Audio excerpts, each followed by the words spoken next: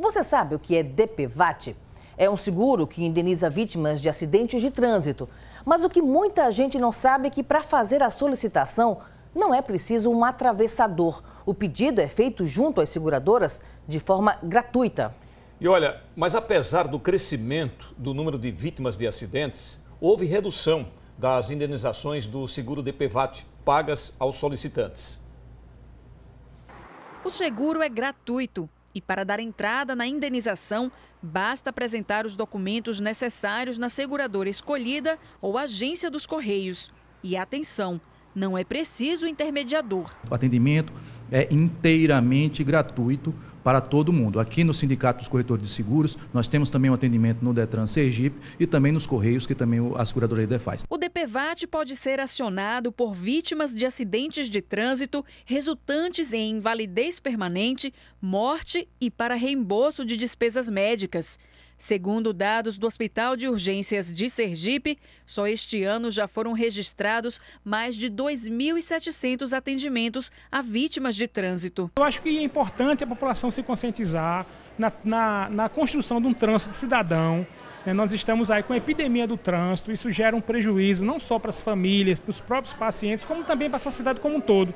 Lembrar que o custo social ele se divide em vários custos menores. E os mais importantes estão aí no custo é, pré-hospitalar, hospitalar, previdenciário e familiar. Mas apesar do elevado número de vítimas, dados da seguradora que administra o DPVAT apontou uma queda no número de indenizações pagas em 2015. Só em Sergipe, no ano passado, foram pagas 411 indenizações por morte.